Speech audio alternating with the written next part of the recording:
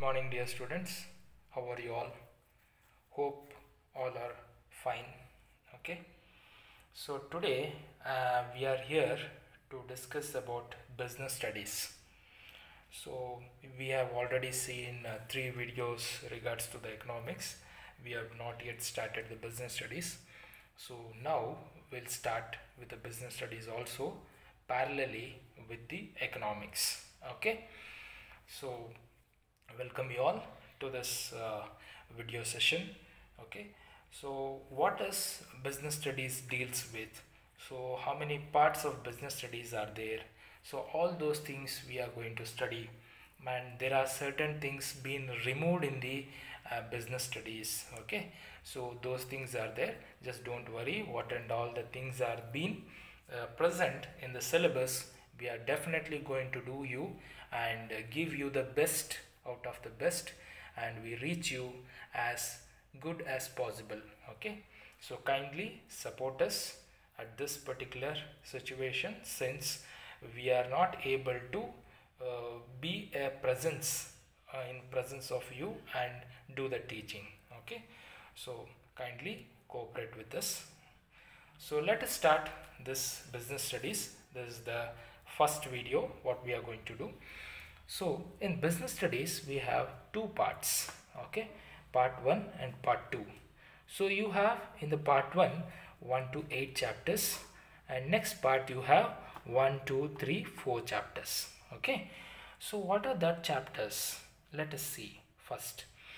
Chapter number 1 speaks about nature and significance of management which means how a management in any organizations okay please observe how the management in any organization organization may be small organization may be big organization may be medium whichever the organization is there the management plays a major role.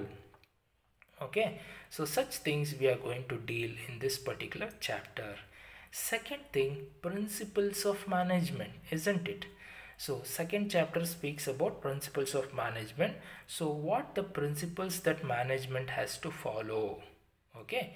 Simply they cannot manage the things. They have to go based on the rules and regulations and they should have some principles. Okay? So such things speaks here about the principles of management. Okay? Next third chapter deals with business environment. Business environment so what is this environment in the business, how it is being created? Such things we can observe here and we can discuss in this chapter. Later on we have planning, we have organizing, we have staffing, we have directing, we have controlling. You might be thinking why these things are there being given individually because without this no management can function in any organizations did you understand? So planning should be there. After planning it should be organized properly. After organizing the things staffing should be done. After staffing for the staffs they need to direct okay the task. And after directing they should have complete controlling okay on the activity of process of productions okay. So such things regards to the uh, chapters number 4 5 6 7 and 8 okay. So this is in the first part of your business studies. What comes in the second part? Second part deals with financial managements. Yes. How the money is being managed. Okay. How the money is being managed. In what ways? Okay. Where where for example the shares. Where to be invested? In what amount should be invested? What the proportion of shares should be there? What the dividend should be acquired. Such things will be discussed okay? So that deals here financial uh, management. And next chapter which is the 10th chapter you have financial markets. Yes okay? So you have stock markets stock brokers. All these things comes under here in the financial markets so we are dealing these things here in the financial market. Next comes marketing it is the most important chapters okay? So if you people are wanting to have or wanting to do mba in marketing okay? So by that time this topic or this chapter becomes most important most basic for you and it leads for your knowledge in future also okay so such things. And if you take mba in hr these two activities is most important. Financial management and financial markets are most important okay? So that is the main reason your stone of stepping to the success takes place from puc level itself okay? Lastly you have consumer protections. See consumers how they have been protected in what ways what are the rules to be taken to the consideration of consumers. How many redressals are there? And uh, sorry how many um, organizations are there to protect? Ngos are there to protect them. Such things deals here okay? So let us start with the first chapter which is nature and significance of ma management okay? Yes. The first one is nature and significance of management. So here as i said you earlier you take any management you take any uh, uh, organizations there should be a management. Without management nothing activity or a process takes place isn't it? You take infosys you take tcs you take honeywell whichever the organizations you take. You take schools you take colleges isn't it? You take hospitals you take any organizations okay? So management is most essential okay? So management is a very popular term and it has been used extensively for all types of activities. See any activities takes place in the organization management is essential. See in your house who is the manager of your house? Your father isn't it? So he knows to manage the things and the activity of money how to spend how to save isn't it? And how to use it in a proper manner isn't it? Such things. So these are the activities. So management is essential always in any sort of activities okay? And now coming to the next particular activity of management what it says let us see. Management is an activity yes it is only it is only an activity always which is necessary whenever there is a group of people. See as i said you in the hospital there is a group of people. There is a management committee. They decides what their management has to do what their group of organization people has to do what task they should do. Such things so management speaks about the group activities in the group activities working in any organizations. Next point people in the organizations are performing diverse tasks this is most important isn't it? Any organization you go you have thousand employees. All the thousand employees have thousand different tasks isn't it? They are performing their own task. And but they are all performing for what towards the goal okay? They are all performing towards the goal. And who should guide them towards the goal? Management isn't it? So management it is a process of getting things done from the what? People okay? So this is the most important thing we should observe here. Next management aim at guiding the efforts towards the achieving the goals isn't it? So as i said you thousand peoples are there thousand different activities are there thousand different problems might be there for the people those who are working in any organizations and management part is to guide them okay guide them and make them that their efforts are most essential towards achieving the common goal. What is the common goal? Producing the product very effectively in the production unit. That is the main common goal. Okay. Thus, management has to see the task are completed and goals are achieved. This is most essential. It is not only guiding them. Management has to follow them, which means follow-up has to take place by the management behind the employees where the task has been what has been assigned which we call it as effectiveness. Okay? And also efficiency. Effectiveness and efficiency are the faces of one single coin. Okay? So both are to be uh, what is that channelized in a proper manner. Okay? So this is the points which talks about the management. Continuation of this you have. Yes. Management management has therefore been defined as process of getting things done with the aim of achieving the goal. Yes process of getting things done from whom? From the employees isn't it? So that is the most important thing we have to observe here. Hope you can see the video in a proper way okay? Management has therefore been defined as process of getting things done okay with the employees. Why the aim of achieving the goals. So here you have three points. To achieve the goal you have three points. Process effectively and efficiently. So what does this speaks? What are the points? Let us see. Process means you know anything from the starting of production uh, what is that level of uh, um, procuring the things for the production till the final production. That is called as a one single process or one cycle of productions. So process is defined in this primary it is a primary function of activity where management performs and get the things done from the employees isn't it?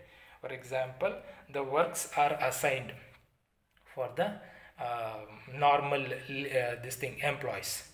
And that work has to be get it done till that pro product is been produced. That means that process should take place. They have to give the raw materials. They have to supply the uh, machineries for the labor. After that they have to keep watching the production levels isn't it? On all the phases. Such things we call it as process. Okay. Next after that these functions uh, the process uh, in, in the in the stages of process we have planning organizing staffing directing and controlling. We have already seen in the starting of the video which is nothing but you have different chapters for that. Planning organizing directing staffing and controlling isn't it? So process takes place. This is most important. Properly the management has to plan when the product should be starting the production levels. After that, they should organize the work for every single employee in the organization. Later on, they have to assign the staffs. Staffs in the sense clerical staffs, working staffs, sub staffs, okay, non working staffs. Everyone should be what is that organized they have to be staffed okay which place what where they have to be and directing them calling the meeting, directing them, this is your work, you should do this much today. Tomorrow you should complete this particular task. Such things, there should be a direction. If any queries are there, please come back to us. Okay, those are the directions given by the management. And next, lastly, they should have a control. Control in the sense what? People should listen to their words. Okay, these things comes under controlling. Next comes efficiency effectiveness. Okay later on we'll speak efficiency. Effectiveness effectiveness in a management concerned with doing the right task and completing the activities and achieving the goals. This is most important here we have to observe. In any organizations effectiveness matters more. If it is effective then definitely the goal will be what? Achieved who is effective? If management is effective. Okay? If managers management is most effective then the goal achievement takes place in any in very effective manner. Now coming to the efficiency. So what is efficiency means? Efficiency means doing the task means what task that particular management is doing correctly and with minimum cost. See here they are thinking very effective right task they are taking. Where for the effectiveness? For efficiency they are speaking minimum cost. Minimum cost should be taken and maximum work should be done from them. So there, this is the point we have to observe here. So there is a kind of cost benefit analysis which is involved in the relationship between input and output what is input? Labor is input isn't it? What is output? Product is produced and that is output. So here they should take the labor as a less cost and have to produce output more. Okay? So let us see whether efficiency works more effective uh, this thing uh, properly in organization or effectiveness works more. In future we will see that. Next following to the topics. If uh, if by using the less resource like input as we have spoken in efficiency uh, in the efficiency more benefits are derived as in what is that? Output. And then efficiency has increased. That means what? Putting the employees in a less cost and producing the products of very greater extent which becomes more efficiency. But there are certain cases also efficiency does not remain same. We will see what is that okay? So next point efficiency is also increased when for the same benefit or output fewer resources are used and less cost are incurred. See here it is very particular you should understand here. Efficiency is also increased when for the same benefit or output you are using less resources and are produced less cost are incurred. You are using the less amount of people and producing the lesser amount of productions. So now what happens? It will affect the market isn't it? How product might not reach in a on time in the market because they are not able to what? Channelize the uh, what is that process of production in a proper fashion. Such things okay? Next these two terms which is the two terms efficiency and effectiveness are interrelated.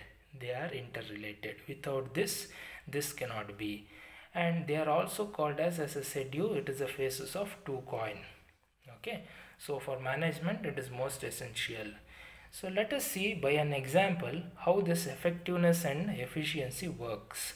See uh, yes uh, this uh, for management these both are most important. As i said you it's the faces of two coin. And even two aspects needed to be balanced which means effectiveness and efficiency should be balanced. Let us see by an example. As i said you it is easier to be effective uh, it is easier to be effective but ignore what efficiency which means you can all time you cannot be efficiency. Ask the efficiency. But you can be effective always. Okay? That is how let us see by an example. Hope it is not boring. Okay? Suppose suppose a company targets the production. Suppose the company targets the production in 5000 units in a year. So in one year company has targeted how much? 5000 units to be produced okay? To achieve this target to production of 5000 unit the manager has to operate double shift due to the power failures in the time. So this is the most essential here.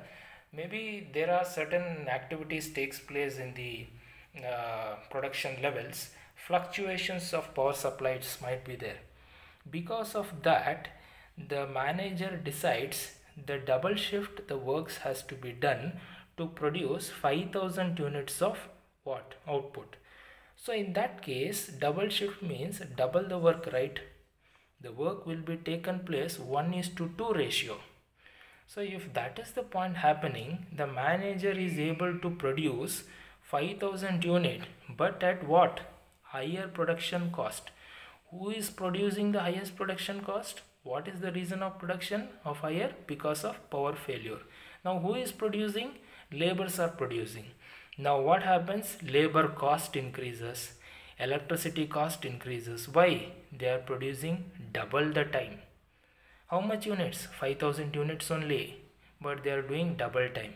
That means the efficiency here has gone down. Okay? You cannot expect the efficiency always less. Labor cost should be less or cost of electricity should be less and I can take a lot of profit from that. No it cannot happen at all. Efficiency it will always fluctuates but effectiveness will be more because their intention is to get the things done. They have to work more effectively and product should be produced. Okay? So the last point at times the businessman or a business may concentrate more on producing the goods with fewer resources. See they are saying when they are speaking about efficiency here. So at times business may concentrate more on producing the goods with lesser cost. With fewer means lesser lesser resources. That is cutting down the cost. Cost of what? Cost of labor. Cutting down the cost of labor. Okay but not achieving the target production. Yes here it is important. They might cut down the task uh, sorry cost but they cannot get the products on time. If they are not getting the product production on time like 5000 units cannot be produced means on time they cannot reach the market on time. If they are not ready to reach the market they are going to lose the value in the market. The product will not retain in the market product is going to lose the name and frame in the market. By the time some new producer introduced into the market means finish competition will arise. That is what is there in the next point. So on regards to that when the labor cost is cut down and production has taken place maximum what happens? They cannot reach what is that? Targeted productions. Since they have cut down the cost levels okay to produce the products. So consequently what happens? Okay the goods do not reach the market. By because they are not able to produce on time. They are not able to reach also on time to the market. And what happens? Later on the demand hence the demand for the products which was ready to acquire the market declines. Means comes down decreases diminishes decreases declines. All these things nothing but becomes lesser becomes very uh, less in the markets. Uh, what do you say? Face of uh, value. The face value will come down. Okay? And competitors enter the market. They capture the market in a very effective manner and they put the old products aside in the market. So this happens in the market. So efficiency you should observe here always fluctuates. Effectiveness does not. So how to balance that? They have to go hand in hand. They should plan which area to be more efficiency to be considered which area effectiveness also to be considered very effectively. They have to decide and plan okay? So that will be continuing in next future uh, video okay? Thank you